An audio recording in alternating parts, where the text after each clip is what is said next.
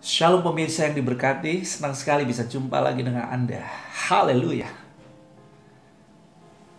Hari-hari ini terlalu banyak orang yang kita bisa lihat di sekeliling kita mengalami stres bahkan depresi.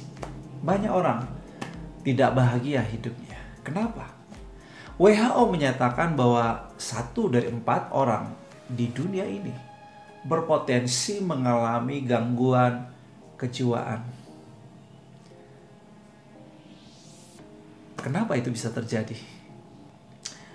Saya menemukan bahwa salah satu alasan kunci mengapa ada begitu banyak orang hari ini mudah sekali mengalami gangguan kejiwaan oleh karena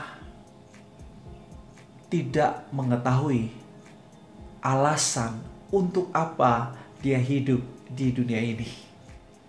Ketika seseorang tidak tahu untuk apa dia hidup di dunia ini. Dia tidak menemukan alasannya. Why? Kenapa? Aku ada di sini. Maka saudara kasih, dia merasa hidupnya sia-sia. Ada satu kekosongan, ada satu kehampaan yang dalam yang terjadi dalam jiwanya. Perasaan tidak berarti begitu menguasai dirinya. Hidup ini sia-sia untuk apa aku hidup? Nah, orang seperti ini mudah sekali mengalami stres dan depresi. So, penting sekali untuk kita mengetahui untuk apa aku ada di sini. Saudara masih ingat beberapa hari yang lalu, kalau saudara sempat melihat saya posting di YouTube lagu yang saya ciptakan yang saya beri judul Ku di sini saya menyadari rancangan Tuhan begitu dahsyat dan ajaib dalam hidup saya. Dan aku ada di sini untuk memuliakan dia. Saudara yang kekasih, Yesus adalah pribadi yang sangat tahu persis untuk apa dia ada di sini. Untuk apa dia datang ke dalam dunia.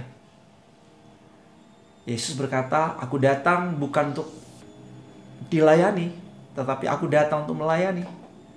Aku datang untuk memberikan nyawaku menjadi tebusan bagi manusia. Dia sangat tahu persis alasan kenapa dia ada di sini. Dalam Yohanes pasal 4 ayat 34, Yesus dengan tegas berkata kepada murid-muridnya, Makananku ialah melakukan kendak dia yang mengutus aku dan menyelesaikan pekerjaannya. Yesus memberi perumpamaan dalam Lukas 13 tentang seorang yang mempunyai pohon arah yang tumbuh di kebun anggurnya. Dan ia datang untuk mencari buah pada pohon itu, tetapi ia tidak menemukannya. Tercatat dalam Lukas 13 ayat yang 6. Di ayat yang ketujuh, ia berkata kepada pengurus kebun anggur itu, sudah tiga tahun aku datang mencari buah pada pohon ara ini dan aku tidak menemukannya. Tebanglah pohon ini. Untuk apa ia hidup di tanah ini dengan percuma? Saudaraku,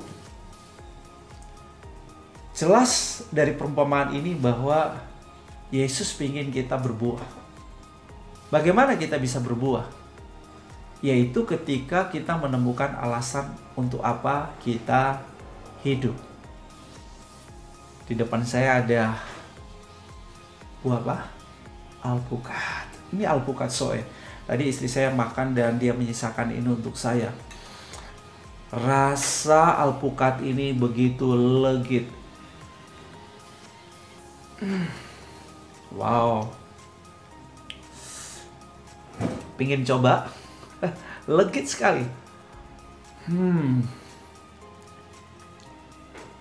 Tentu yang saya perlukan dari buah ini bukan sekedar rasanya, tetapi kandungannya yang bermanfaat buat kesehatan tubuh saya.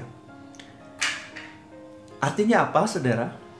Bahwa ketika kita berbuah, hidup kita bermanfaat, berguna bagi orang lain.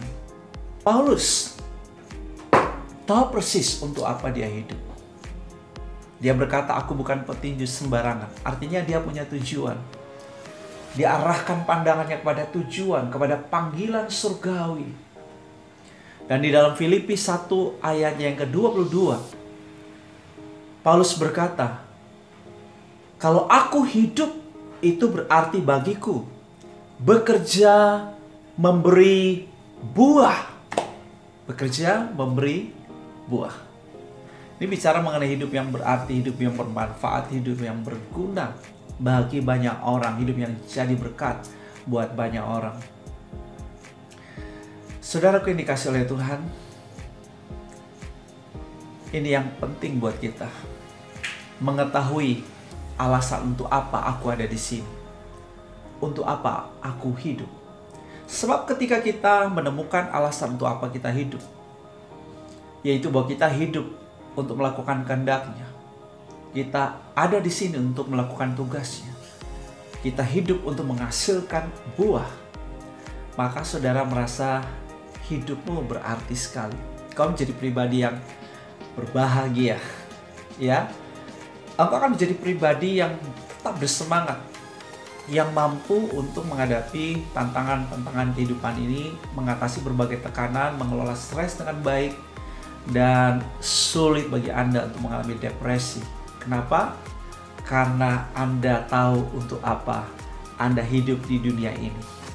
Pastikan Anda mengikuti video-video berikutnya sebab saya akan terus membahas mengenai the secret of great life, rahasia sebuah kehidupan yang great.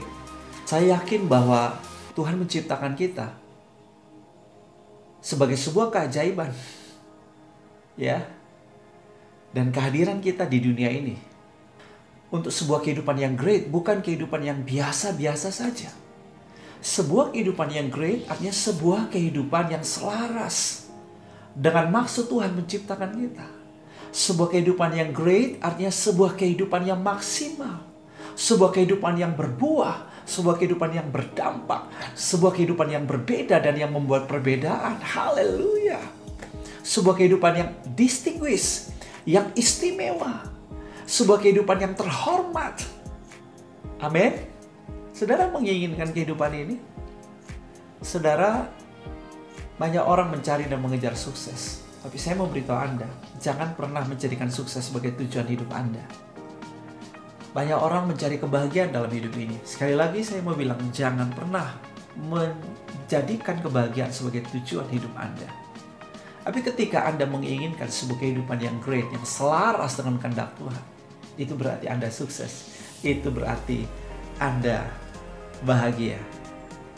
Salam great life. God bless you.